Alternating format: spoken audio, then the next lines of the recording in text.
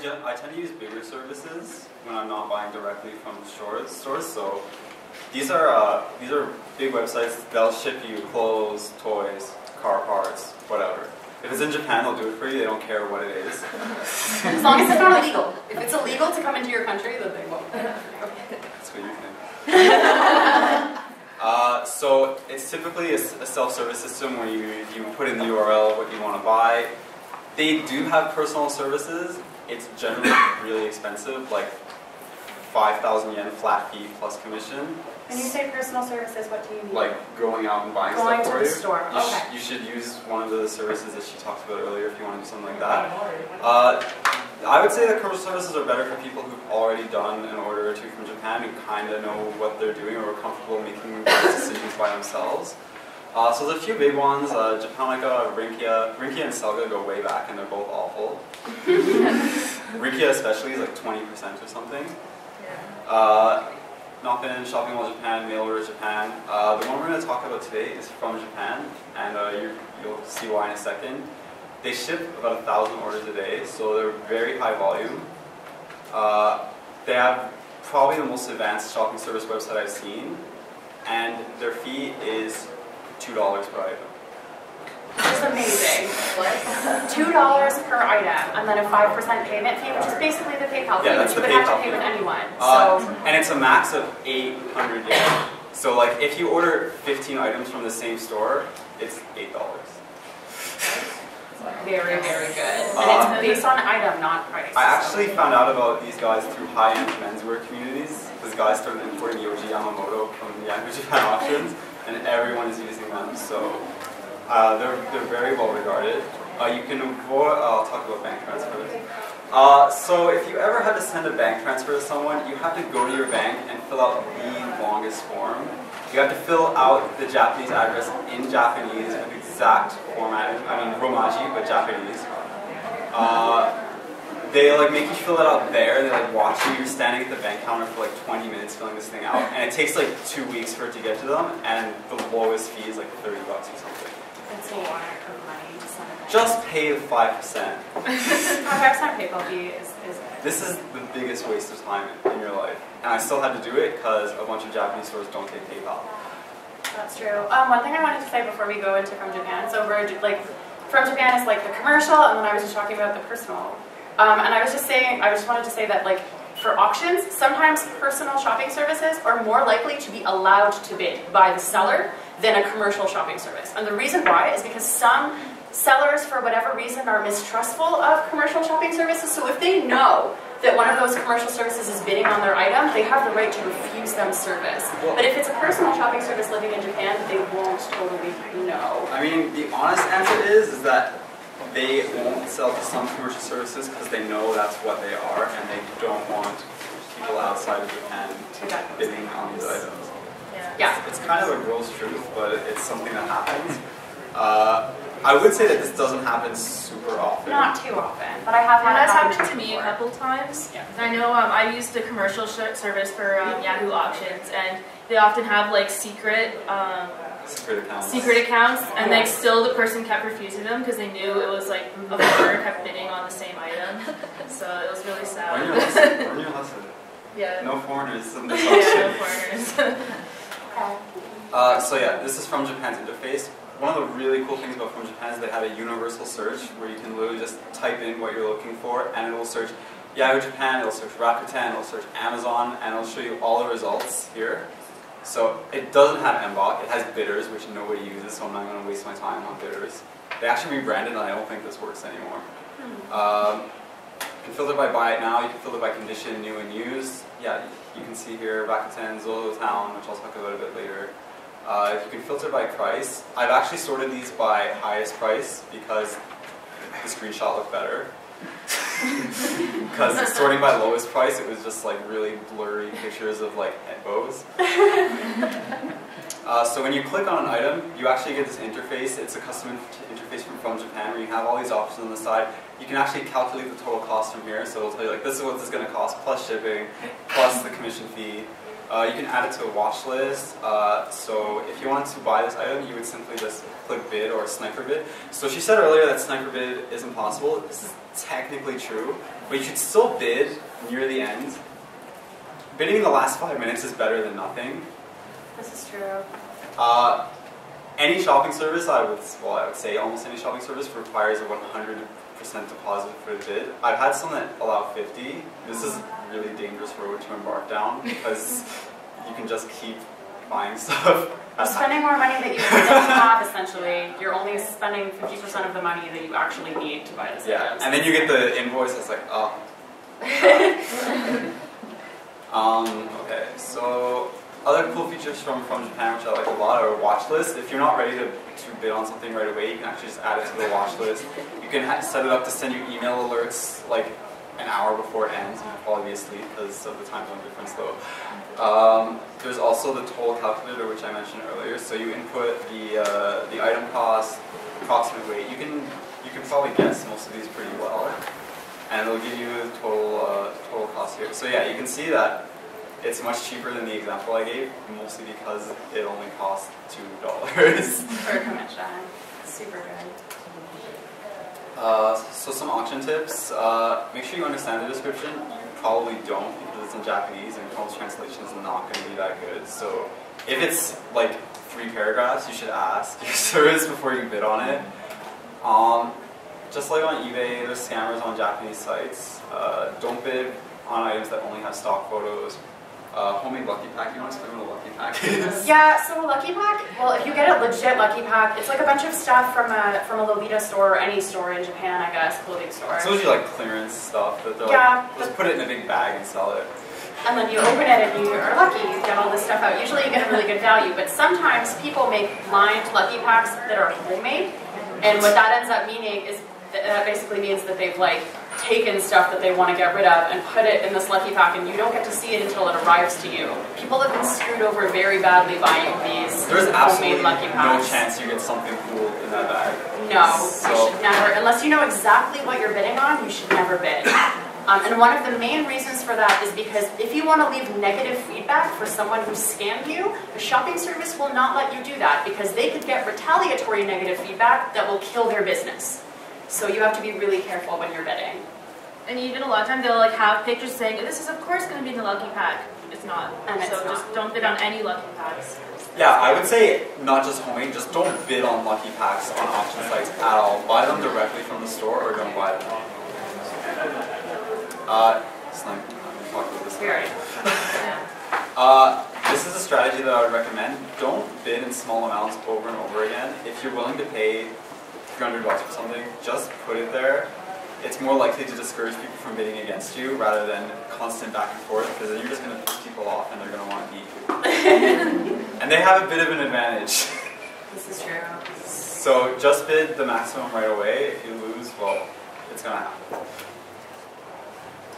Um, yeah, I'll talk about some of it. You can talk about some of it. So Taobao, um, Taobao is fantastic. Um, and the reason why it's fantastic is because stuff on Taobao is really, really cheap. And you can find anything on Taobao, including really high quality Lolita fashion clothing.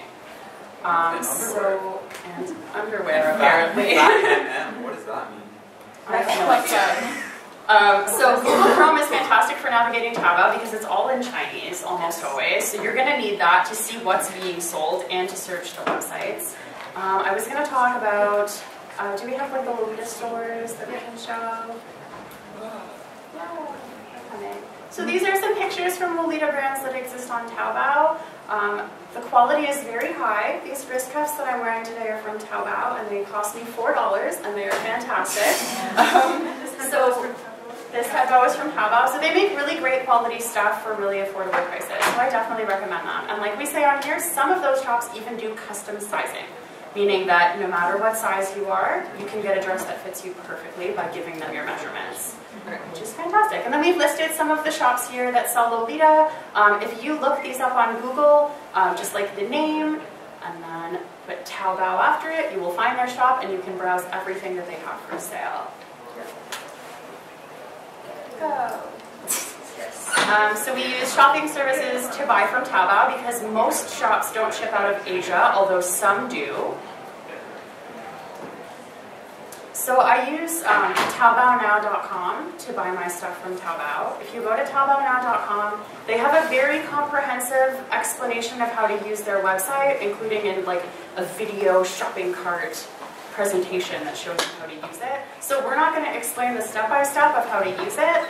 Um, one of the things that I think you should remember is that they only accept payment in Hong Kong dollar. They will not accept USD. They will not accept Canadian.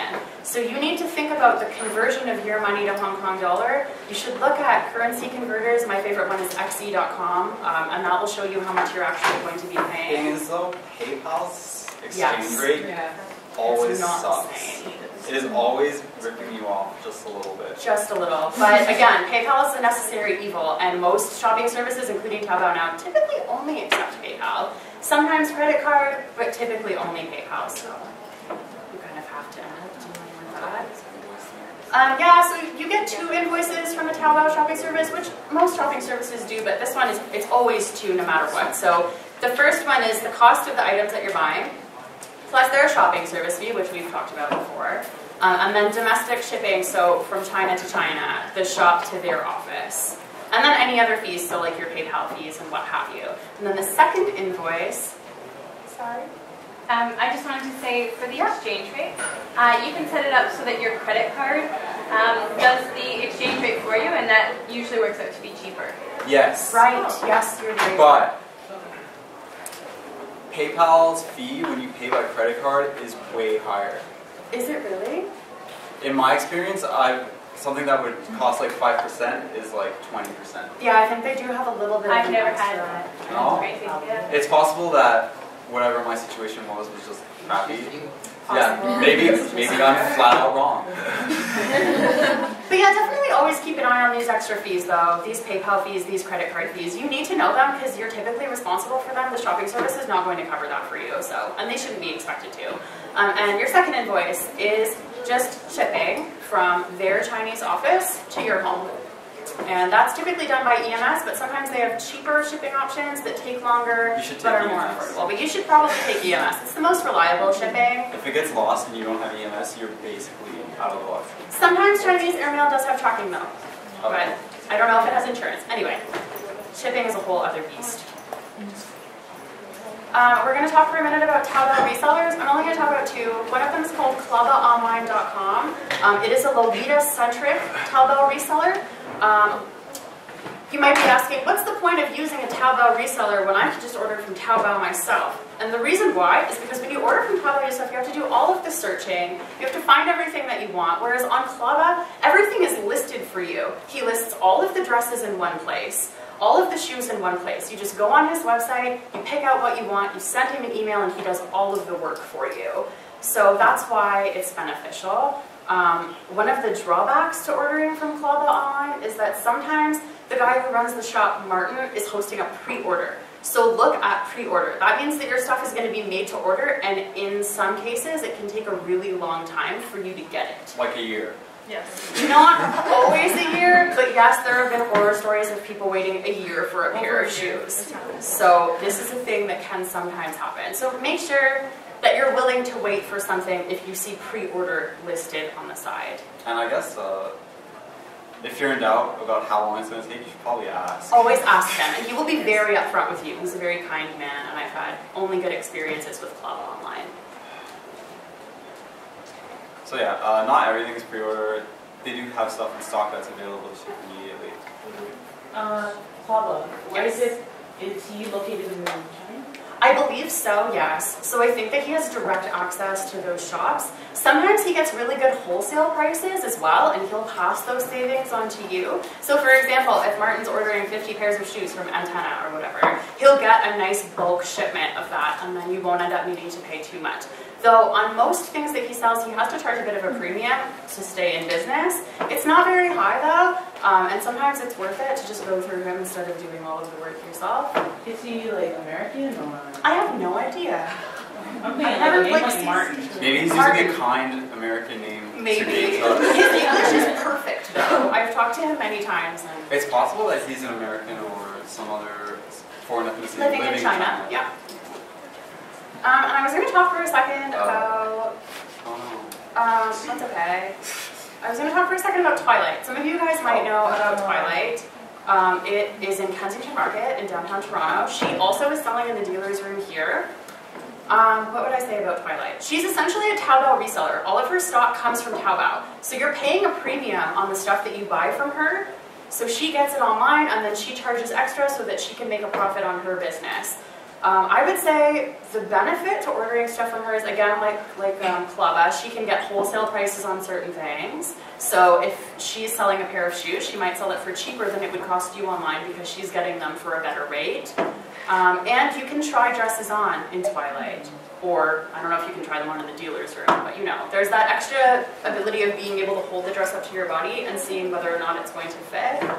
Um, anything cautionary about? Um, sometimes she does sell replicas, and you must be aware because sometimes she won't tell you it's a Right. replica. So always be very aware of what you're buying from her. Check the Yes. tags, check the quality of the dress, check the lace. Make sure that you know what you're buying. Um, if some, if a dress is angelic pretty, it will always have an angelic pretty tag on it. Um, I know I've seen uh, replicas and somebody thought it was real, so you don't want to have that. Yeah, I would say that even uh, tags are often fakes. I would- Yeah. I wouldn't Yeah. buy brand from someone who has a reputation of selling counterfeits. No, you know what? I would say never buy brand stuff unless it's from a reputable source Yeah. or secondhand from another person who bought it from a reputable source.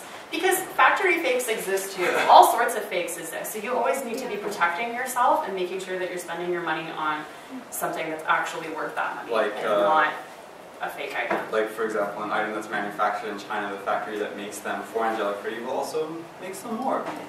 Maybe not as good. off the back of the truck or something. Yeah, that's essentially the story. Yeah. The reject ones that have minor flaws. Yeah. Yes. Like they, they take extra hours. wanna talk about- shit.